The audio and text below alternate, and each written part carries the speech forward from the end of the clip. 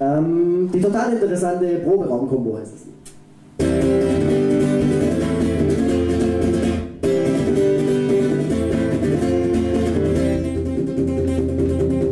Ich bin fast schneller als Sniffy Clue, die am Donnerstag hier war. Super Action Gitarrero spielt sich die Finger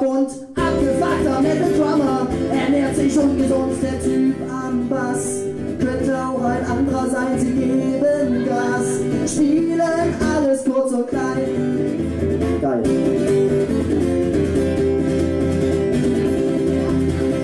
Jugendhaus auf den Konzerten haben sie sich oft gesehen. Irgendwann da meinte einer, sie müssten proben gehen, jetzt sind sie da. Vor ihnen vier Deutschpunk-Kids an der Bar. Und die drei, sie spielen ihre Hits.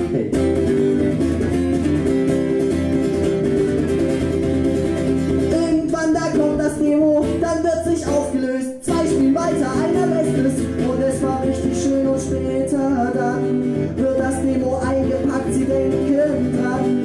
Meine Güte, waren wir bekannt. Aus. Dankeschön.